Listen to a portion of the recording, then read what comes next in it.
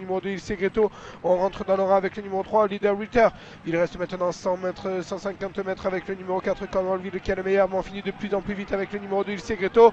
On finit bien aussi avec le 5, la corniche. C'est le numéro 4, Cornwallville qui s'impose dans cette épreuve. La deuxième place pour le numéro 2,